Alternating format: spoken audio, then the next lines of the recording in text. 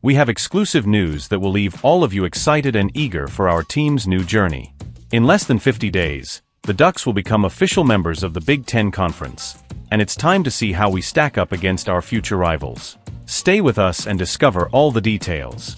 Soon, the Oregon Ducks will be competing in the Big Ten Conference alongside giants like USC, UCLA, and Washington. But how has our team fared against these new opponents so far? Get ready for an exciting dive into the Ducks' history against the current Big Ten members, and see why we are ready for this new adventure. Hello, Oregon Ducks fan. We are about to share all the details with you, but before that, I ask you to leave a like on the video. Subscribe to the channel, because here you will stay informed about all the news regarding the Oregon Ducks. Thank you. Continuing, as we approach our official debut in the Big Ten, it's interesting to examine the Ducks' track record against our future rivals. So far, Oregon has faced all the current Big Ten members except for Maryland and Rutgers. And guess what?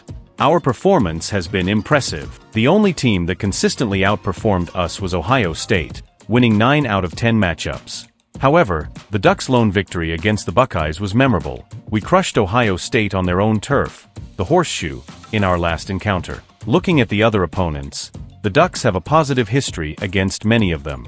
This gives us confidence that we can compete on an equal footing in the Big Ten.